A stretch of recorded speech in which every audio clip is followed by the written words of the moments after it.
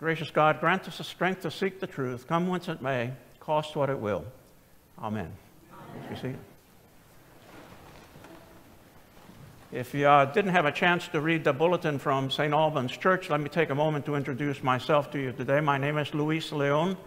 Uh, my wife and I became members of uh, St. Of, St. Albans Church uh, after I retired from being the rector at St. John's Lafayette Square in 2018 and we came and became members of the church. We are nine o'clockers, so you've seen us here at the nine o'clock service. We don't go to the eight o'clock or the eleven fifteen, and we sit right over there. I see somebody's using our pew today, and I'm not sure that that's a very good thing. But at any rate, uh, we come to the nine uh, to the nine o'clock service, and I'm delighted to uh, delighted to be with you.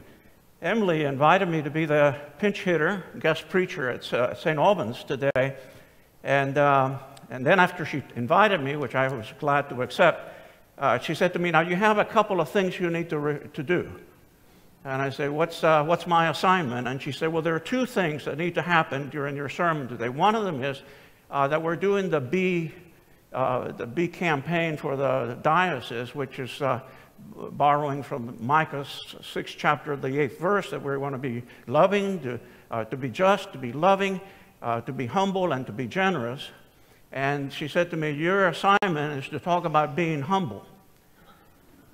So when I told my wife that, she said to me, Ooh, I'd like to hear that sermon, Luis. She's the one that constantly reminds me. I said, You know, Luis, there's a very fine line between self confidence and arrogance. And I'm never quite sure where you are on that very fine line. So that's, that, that's just to tell you, I don't know a lot about it. Um, and then she also said, after that, she said, You're going to talk about humility? I don't know anything about it. And she said, You also need to talk about financial stewardship and see if you can work that into your sermon. Well, I tried to work it into the humility thing. I can't do it. So I'm going to give you two homilies this morning. Uh, one's about stu- financial stewardship, and then I'm going to uh, basically throw some paper watts up on the wall and see what sticks up there about humility, because, like I said, I know very little about it. So can we focus for, first of all on, the, uh, uh, uh, on, on financial stewardship? One of the things that we need to recognize, all of us have to recognize right off the bat, with, and I suspect that none of us can disagree, we have a very uh, complicated relationship with money, don't we? Uh, sometimes we value it too much, sometimes we don't value it enough. Now, let me tell you something that I, I, I don't think money is bad. I, I really don't think that it has any ethics. I don't think it has any morality. Um, I came to this country in 1961 as a refugee from Cuba, and I want to tell you, we didn't have two nickels to rub together. And I never want to be in a situation again where I don't have two nickels to rub together. So I know how important it is to have some money to be able to take care of yourself, to take care of your family, to take care of your needs. I understand that completely. But we have a very complicated relationship with it. Notice that in the Episcopal Church, uh, in all of our prayers in the Episcopal Church, we always pray for the poor. We pray for those who are in uh, hospitals. We pray for those who are in jail. We pray for those who are in trouble. All very good. You know who we never pray for? The rich. We never pray for the rich. Never. the only time that we ever have a prayer for the rich is uh, on Ash Wednesday. And the rest of the year, I guess the rich get off scot free. I think that we should probably have a prayer every week at a place like St. Albans, which I belong and which I'm a part, so I'm pointing a finger at myself, that should go something like this. For all of those in, uh, in love with their assets, let us pray to the Lord. And all of us would have to say, Lord, have mercy upon us. Because I think that's the complicated relationship that we have with it. When I was the rector of St. John's Church and every other congregation where I served as director, and we would meet for um, premarital conferences with couple getting to, marry, to get married, um, one of the things that they always came, they were always afraid I was going to ask them about their sex life. And I tried to calm them right off the bat, and I said, I don't care what you all do in the bedroom.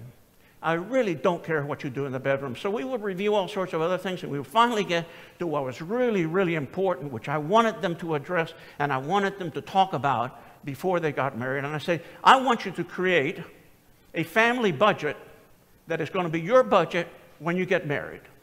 that you're going to look at all of your expenses and you're going to decide how you're going to use your income and your expenses and weigh them off against each other. And I would say, and I want you to examine your, your debts, uh, whether credit card debt or college debt.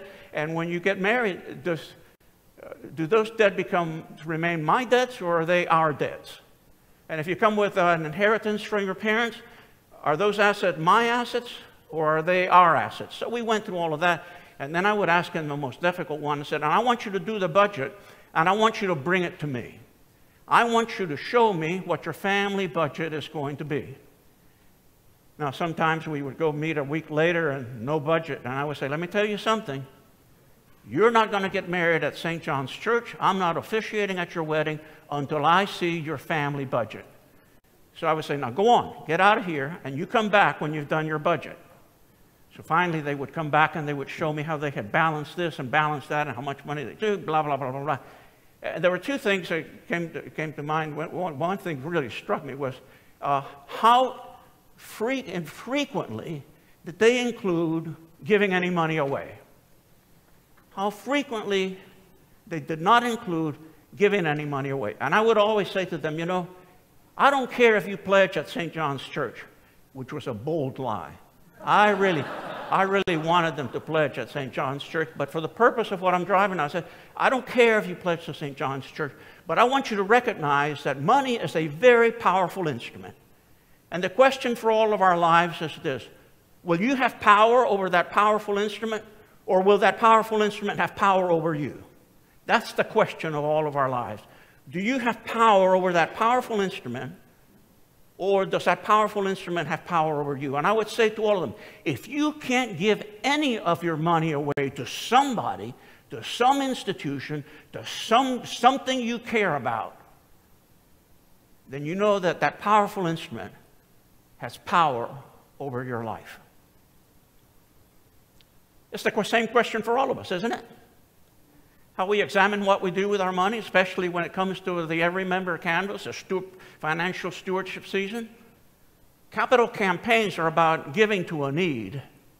The every member canvass is about the need to give. I don't want to emphasize about the need to give, our need to give, to understand that we have power over that powerful instrument. The biblical narratives are always talking about 10%. And whenever I talk about 10%, everybody puts their hand over their wallets or their hands over their purses. And I say, well, hold on just a moment. You know, that's what the Bible says. And you have to consider and say, well, why is it 10%? Well, because there was a lot back then. And guess what? It's a lot right now. And the question is not whether you give 10% or not, it's to examine your life in what the, the biblical narratives suggest for us to consider in giving away. I think that God wants us to believe in as much of God as we can believe in God at any given time, and that that's good enough. And that then God wants us to move forward from where we are. I really believe that. I think we're all on a spiritual journey, and part of that spiritual journey is determining what you're going to do with that powerful instrument. And the question for all of us during the Every Member Canvass is this How much does faith allow me to give away? How much does faith allow me to give away? How much, in response to God's grace, God's mercy, God's uh, forgiveness, God's love, am I giving myself? How much will faith allow me to give? That's the real question for all of us, isn't it? And once you can give some of it away thoughtfully, with intention, then you know that you're moving on the way, that you have power over that powerful instrument. And that powerful instrument doesn't have power over your life. But let's move on.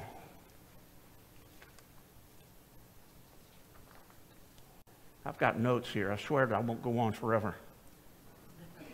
And then the second task that Emily gave me was to talk about humility.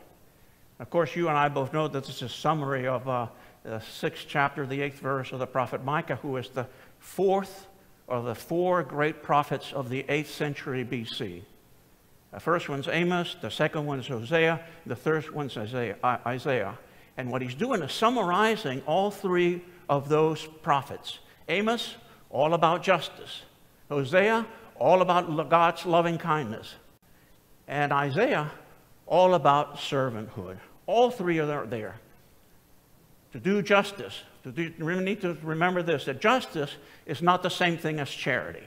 And in the church, the Episcopal Church, we get that confused all the time.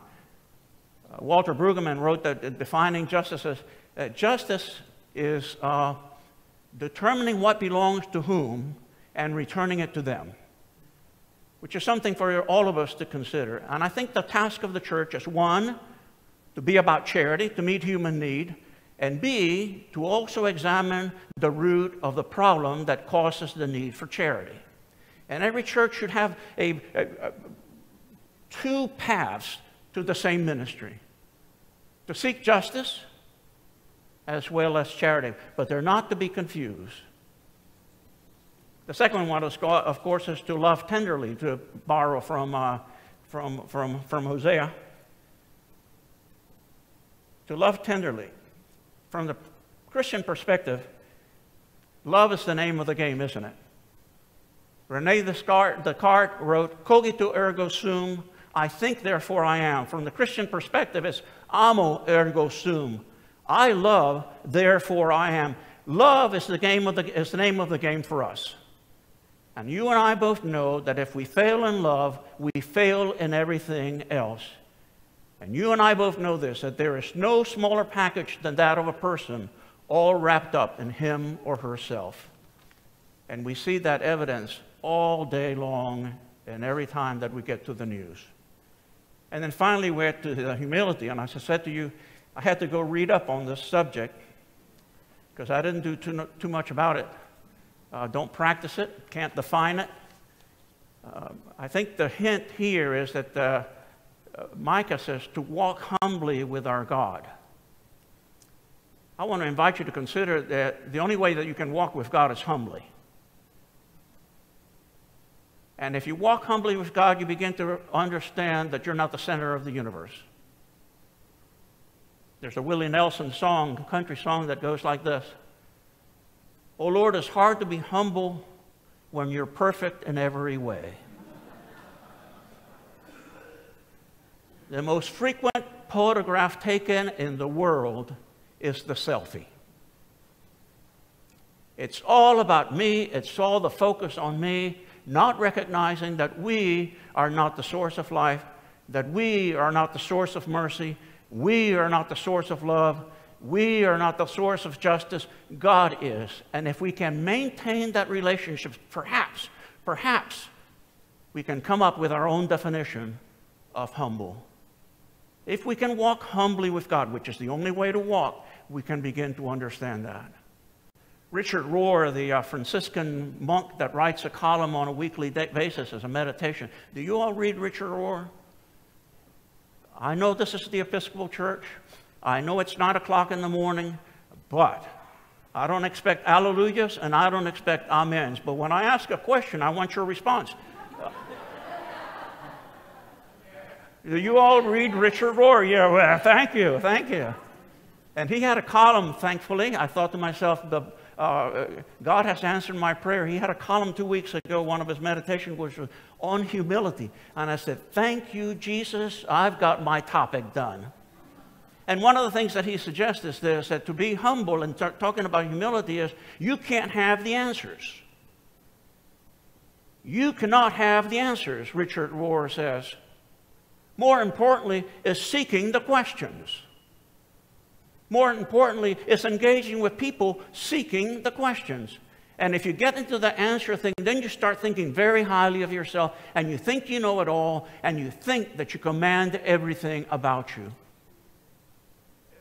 And I was reading that, and again, it was kind of like pointing a finger at me, and I said, Oh Lord, I'm in a heap of trouble right here, and I need to ask for God's mercy. So that's the first suggestion. Uh, the second one is this that, you know, Jesus couldn't stand spiritual arrogance. That's why he was always uh, uh, uh looked kindly on the prostitutes and everybody else as opposed to all of the Pharisees. He just couldn't stand spiritual arrogance, could he? That's why he uh, talked about the prodigal son. You know, the spiritual arrogance of the prodigal son just had no appeal for him. The spiritual arrogance of the tax collector, the righteous person, had no appeal for him. I mean, of the Pharisees, not the tax collector. And it went on down the road. You know, Jesus loved and invites us to love as Jesus loved, which is looking at everyone as a unit of God's grace unprecedented, irrepeatable, and irreplaceable. And that's what I'm invited to do. Not to look down on anybody, but to look at them as an equal. Uh, you know, that spiritual arrogance can get us into a, just a whole heap of trouble. So I think for all of us, as we think about how do we walk humbly with God, we need to examine for ourselves about our own sense of spiritual arrogance. And then finally, let me finish out. Uh, there's a wonderful story that takes place at the end of World War II, and it's between the Governor General of Java, the Dutch Indies of Java, and he's talking to Laurens van der Post. And after the end of World War II, you know, the Indonesians wanted their own independence. They wanted the Dutch out of there.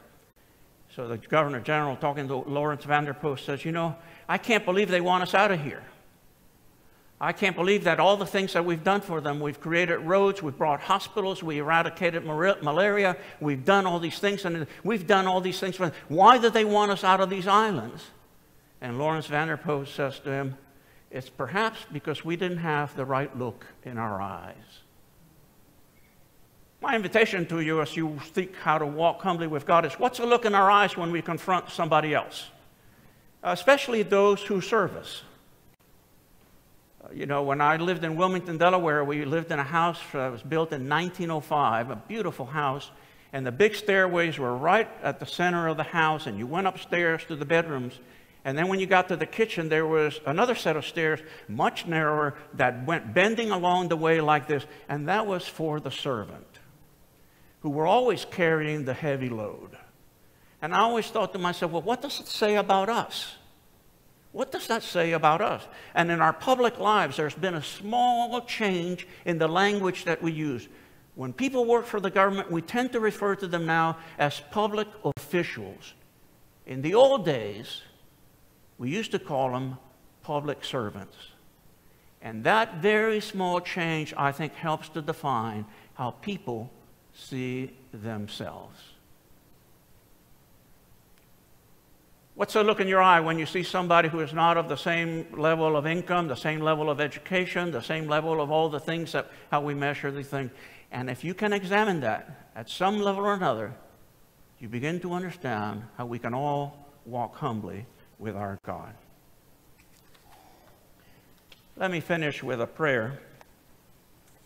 It's written by Reinhold Niebuhr, who was a theologian of the uh, last century, one of my favorite theologians. And whenever my wife reminds me about that fine line uh, between arrogance and self confidence, I go back up to my little office up in the fourth floor and I read this prayer, which I offer for your consideration. This is Reinhold Niebuhr. Nothing that is worth doing can be achieved in our lifetime, therefore, we must be saved by hope. Nothing which is true or beautiful or good makes complete sense in any immediate context of history. Therefore, we must be saved by faith. Nothing we do, however virtuous, can be accomplished alone. Therefore, we are saved by love.